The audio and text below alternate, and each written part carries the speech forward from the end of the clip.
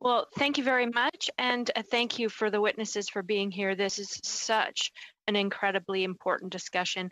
And again, I want to reiterate um, what my colleagues have said about Major Brennan and her incredible testimony uh, over the weekend, but also how incredibly and fundamentally jarring uh, the specter and breadth and depth of that commentary was.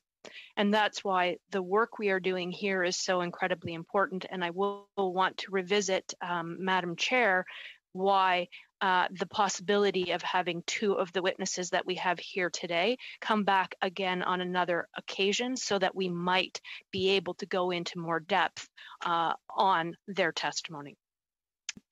Uh, Mr. Drapeau, when the minister testified before a committee, he said that he had always passed everything to the proper authority.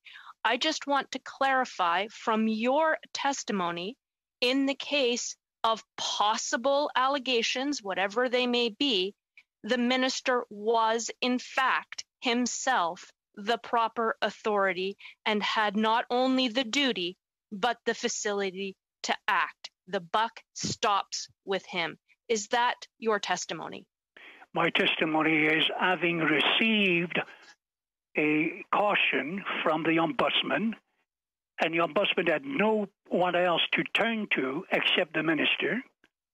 Now the minister saddled with these allegations. He had a duty to first investigate and second report. And he had the tools and the authority to investigate under Section 45 of the National Defense Act. He also had a duty to report, presumably after having investigated the matter summarily or, or fully, to PCO, given the CDS is a governor in council appointment. Along the way, he might have elected to suspend, not to remove, to suspend the CDS whilst this matter was being investigated.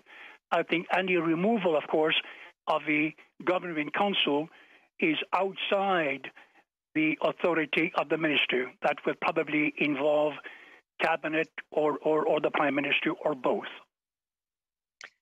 Thank you.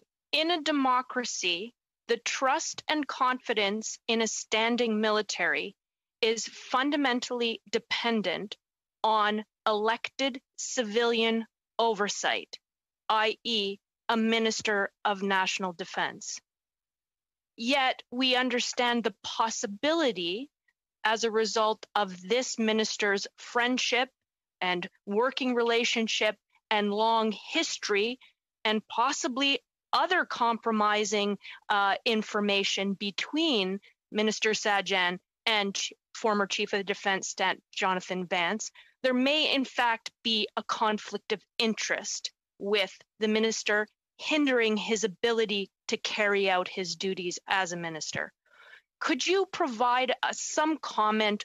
What do we, as members of parliament or Canadian citizens, how do we ensure that a minister of national defense is not compromised, not able to be leveraged or influenced, and is able to carry out his critical oversight as an elected official of a standing military that has the right to bear arms.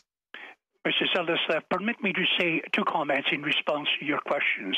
First and foremost, there are two key players that should also have been involved in the decision making by the minister.